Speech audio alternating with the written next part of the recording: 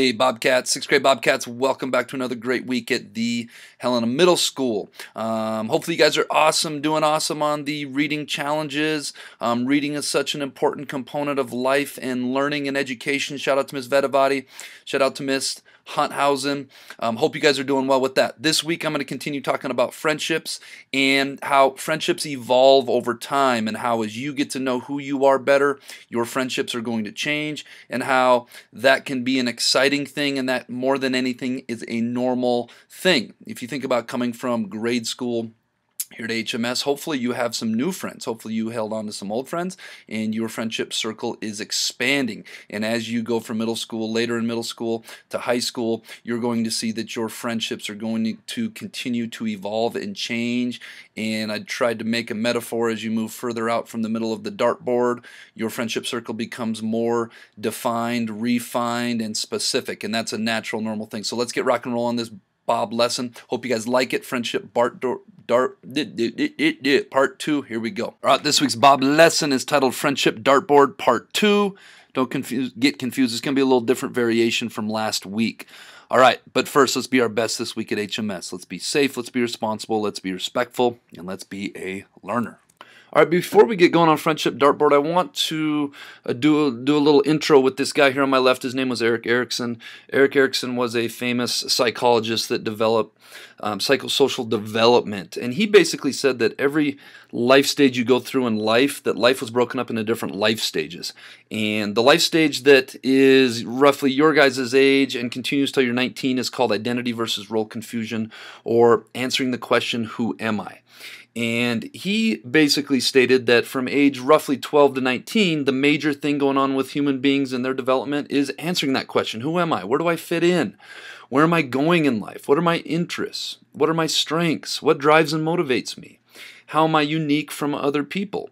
And I think we go through in life and we're always answering these questions, but I think we're really growing and changing at a more rapid rate when when people are your guys' age through age 19 and many of you are probably sitting listening to that right now saying yeah that is me.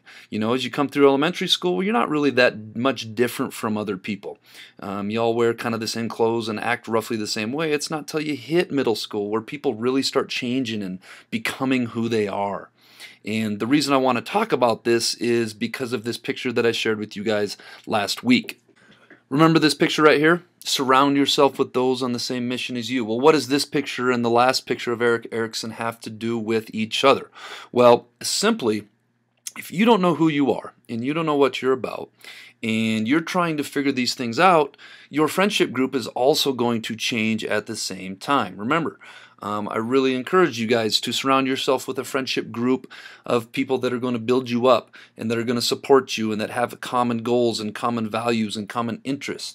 Well, if you're constantly trying to figure that out from age 12 to 19, your friendship group is probably going to change along with it.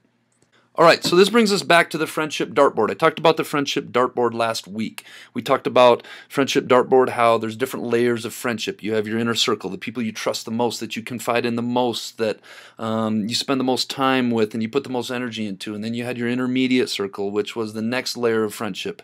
Uh, people that you're good friends with, you keep in, in touch with, but you don't maybe put the most effort and energy into.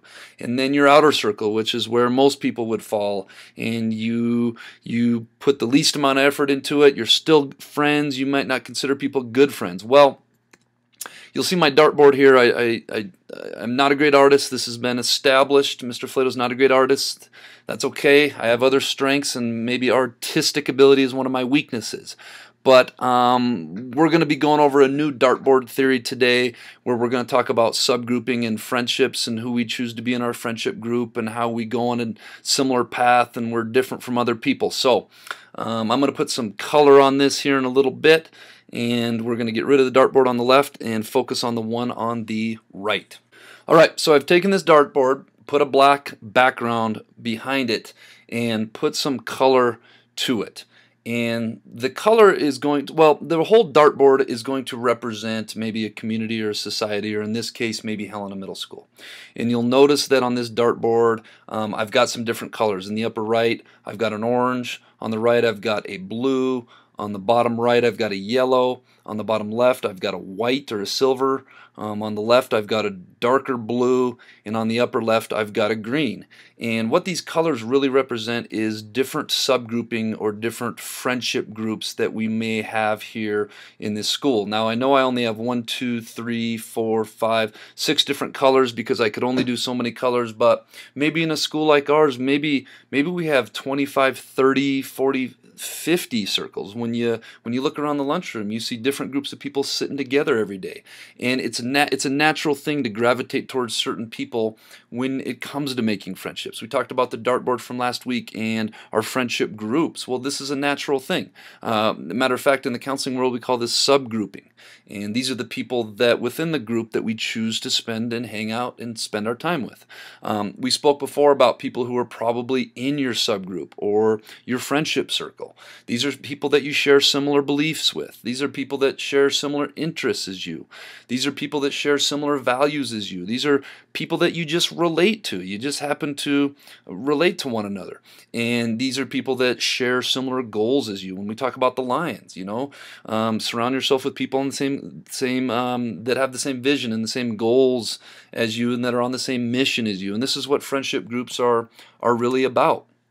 Now, let's pretend that you're 11 to 14 years old when you are starting to explore who you are and, and who is in your friendship group.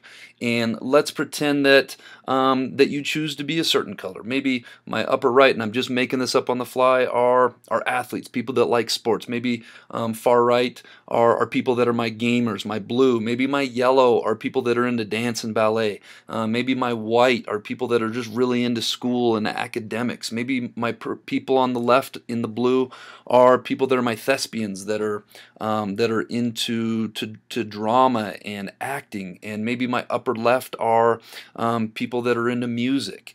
Um, and I'm just making this up. Well, you get to be 11 to 14 years old and you realize, you know, I hang with certain people and, and we kind of stick together.